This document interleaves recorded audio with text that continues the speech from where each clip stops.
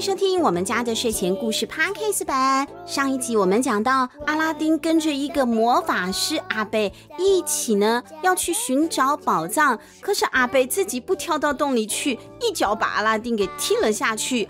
阿拉丁在那个藏了宝藏的洞里，会发生什么样的事情呢？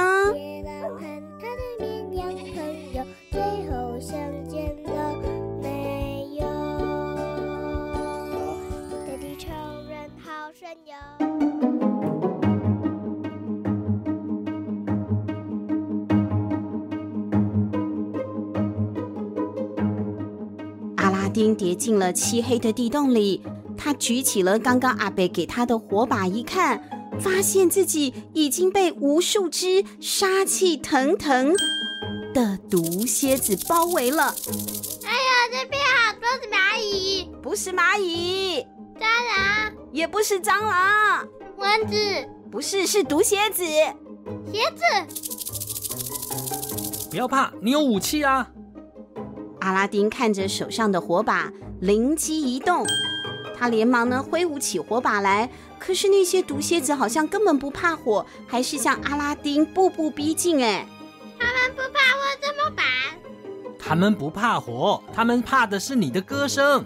快点对他们唱歌啊！就在毒蝎子快要咬到他的脚趾头的时候，阿拉丁就乱唱了起来。龙虾很好吃，龙虾很好吃，蝎子听起来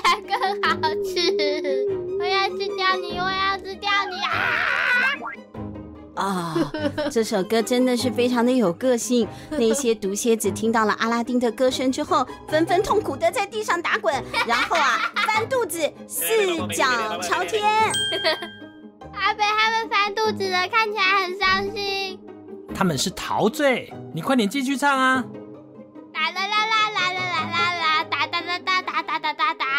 就在阿拉丁这个美妙的歌声当中，魔法师呢小心翼翼的走下了地洞。他看见毒蝎子啊，真的通通都翻着肚子，脚还那一抽一抽的，好像被喷了 DDT 的蟑螂一样，他才放心了下来。伯父，那我们现在要做什么？我们继续往前走，去找宝物。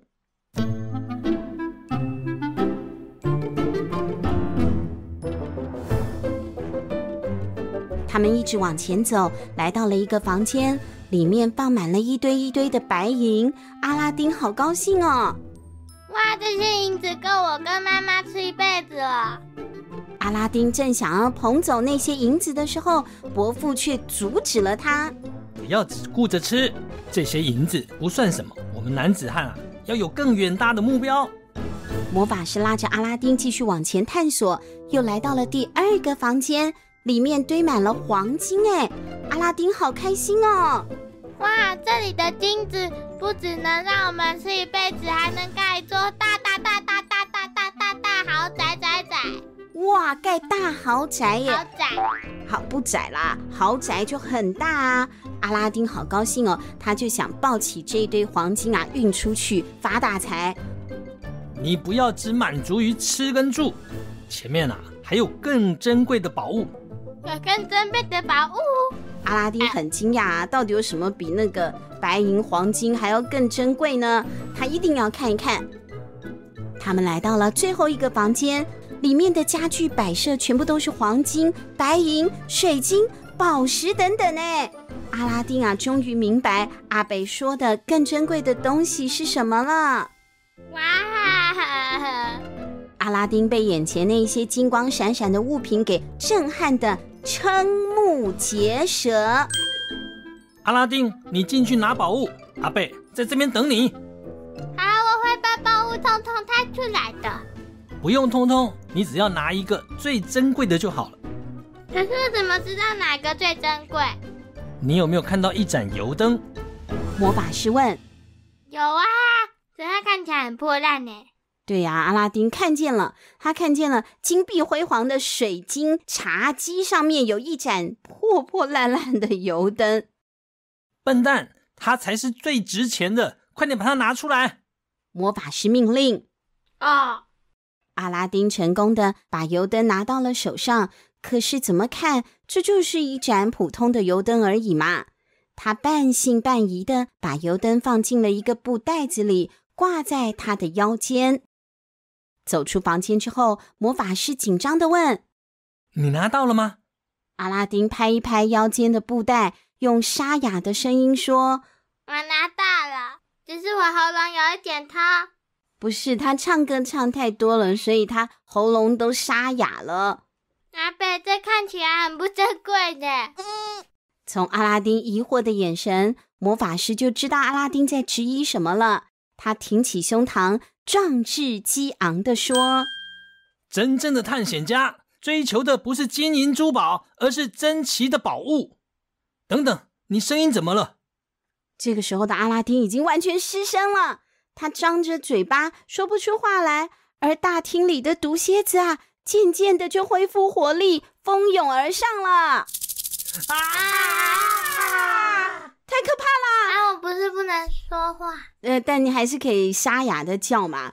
反正呢，这些毒蝎子啊，都跑过来了。阿拉丁和魔法师奔跑到了洞口，眼看啊，终于可以逃出升天的时候。魔法师突然伸手把阿拉丁腰间的布袋啊一把抢了过去，给我！阿拉丁好惊讶哦，但是呢他却发不出声音，他烧瞎了嘛。魔法师啊抢到布袋后，就踩着阿拉丁的背跳出了洞外，回头笑着说：“谢谢你帮我拿到这个宝物，我才没有那么笨的侄子呢！” 哈哈哈哈！哎呦，阿拉丁这个时候啊恍然大悟了，原来这个阿贝这个伯父啊是冒充的。他听到魔法师在洞外啊，快速的重复施法，移动，移动，移动。只见那块大石头渐渐的掩盖了洞口，阿拉丁来不及逃出去，洞口就被盖住了。地洞的毒蝎子已经包围阿拉丁了，阿拉丁使尽全力也推不开那个大石头。眼看毒蝎子逐步逼近，阿拉丁知道自己呢烧瞎了，应该是没救了。他张开嘴，试图要唱歌，结果呢，这一口老痰的声音听起来太恐怖了。毒蝎子啊，一听到阿拉丁的声音，不管是不是唱歌了，不得了啊，落荒而逃。他们呢？一起把洞口的大石头给冲开之后，毒蝎子啊就仓皇的逃了出去了。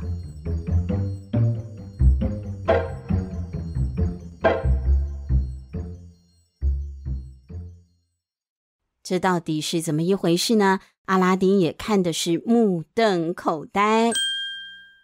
等他自己一个人呐回到家之后，妈妈就问啦。阿拉丁啊，你今天跟伯父去探险，探的怎么样啊？还有，我刚刚不是呢，叫你顺道到菜市场里面去卖掉我们家的旧茶壶吗？你卖了吧？妈妈问。阿拉丁这个时候才想起来啊，妈妈出门前有给他个旧茶壶嘛，交代他拿去卖的。他就把腰上的那个布袋拿了起来，把里头的东西拿出来。哎，不对呀。这个是地洞里面找到的那一盏油灯，不是妈妈交给他的破茶壶。原来魔法师他拿成了妈妈要给阿拉丁拿去卖的那个茶壶了。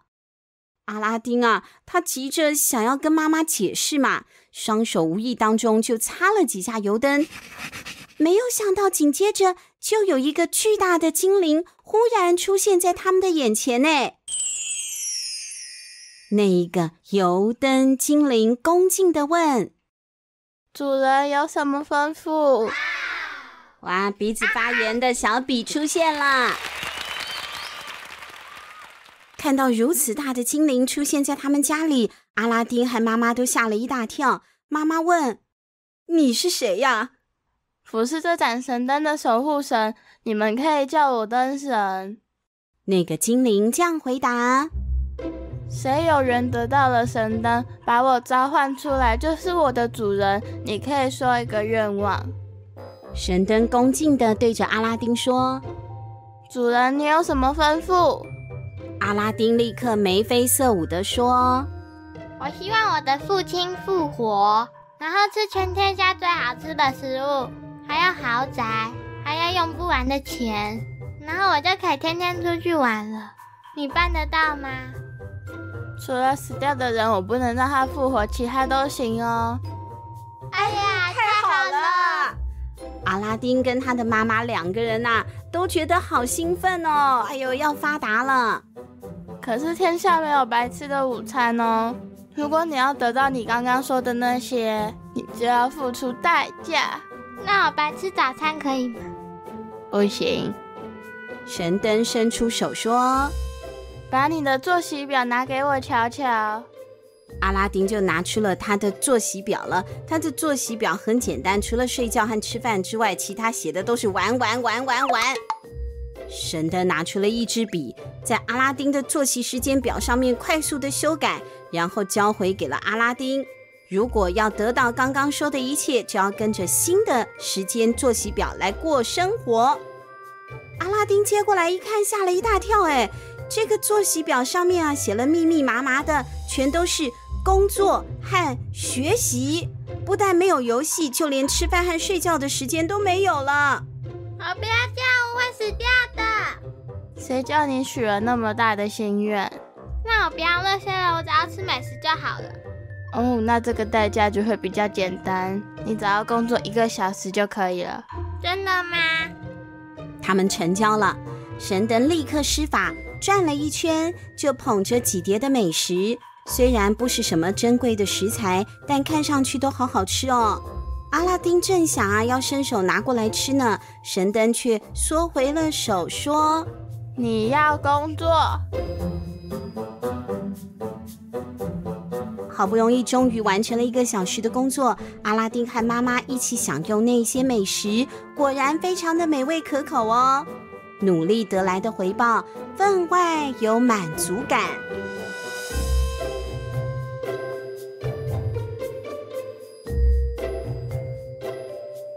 阿拉丁经过了神灯的震撼教育之后，就知道了想要得到什么是没有白吃的午餐的，你一定要付出相对的努力，你才可以得到，就算呢只是好吃的食物。